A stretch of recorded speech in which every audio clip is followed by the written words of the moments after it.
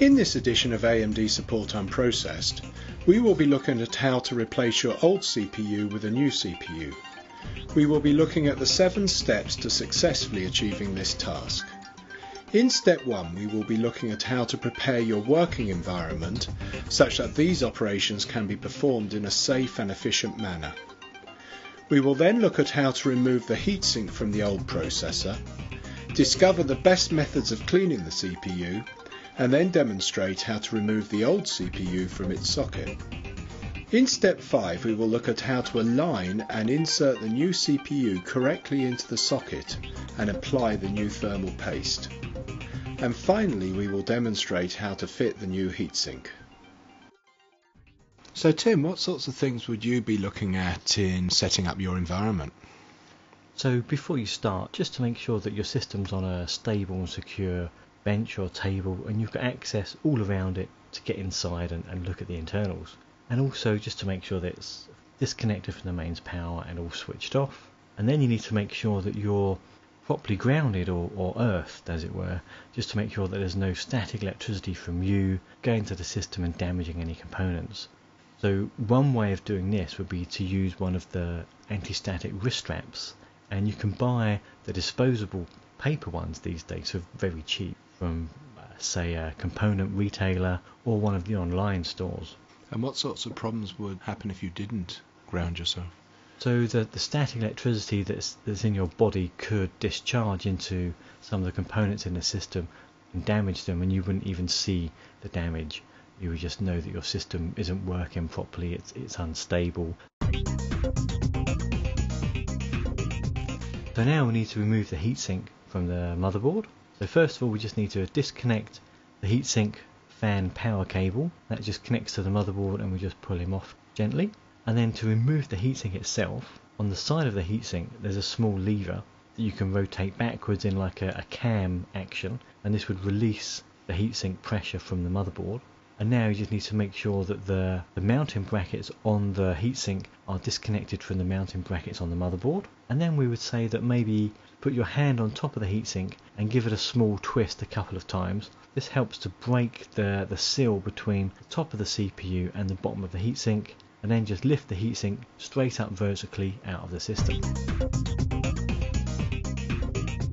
We're now going to need to clean the, the old CPU up. So we would say to leave the CPU in its socket, this keeps him secure. And you just need to, to wipe the grease up using like a mopping action with a, a paper towel or some tissue paper. In this step here we just need to look at the, the motherboard and the socket. And you can see on the side of the CPU socket there's a small lever. And so we just need to rotate that lever from horizontal to vertical and then hold the CPU by the edges and lift him up making sure that we don't don't touch or bend any pins when we lift him out and then what we would say is to put the old CPU into the packaging that came with your new CPU and this would keep him safe and secure.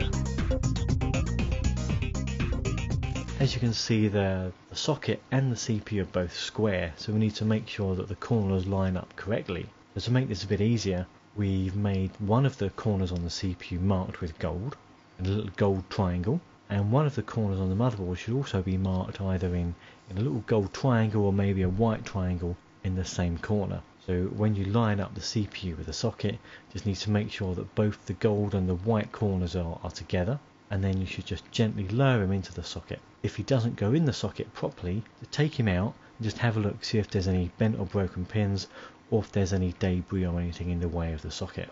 So obviously this is a delicate operation and we need to be careful. Yeah, we always need to handle the CPUs delicately and hold them by their very edges. If you're using a heatsink that came from AMD, it should already have thermal paste applied to the bottom of it already. So you just need to make sure that you've removed the protective cover. It's either a, a plastic cap or a small piece of plastic film that you can just pull away. If you're going to reuse your old heatsink, then first you need to clean off the old thermal grease in the same sort of style that you cleaned the top of the CPU previously. Just use a paper towel and a mopping motion just to clean up the old CPU heatsink. The new thermal paste normally comes in like a small syringe and you just need to squeeze out three small grains of rice size amounts onto the middle of the, the new CPU. So if you put too much or too little on the processor, what can happen is that the CPU can start to overheat and this can cause your system to crash or your applications to freeze and just general stability issues under, your operating system. So this is pretty important that we get the amount right. That's right, you don't want too much or too little. Again, this is a, a, reversal really of removing the heatsink. So you place the heatsink over the CPU, you make sure that the clips are aligned of the heatsink to the motherboard mounts, and then you rotate the cam lever back However, sometimes this can be quite strong. You may need to put quite a bit of force behind the lever to make it properly secure and latch down. And once that's done, you just need to reconnect the heatsink fan power cable back to the motherboard. So I hope you have found this video helpful on how to replace your old CPU with a new one. Remember that it is always important to ground yourself before working on any of the components inside your computer. Please also remember to properly clean the surface of the CPU and heatsink before applying any of the new thermal paste. And ensure that you align the CPU chip with the motherboard socket to avoid damaging any of the pins.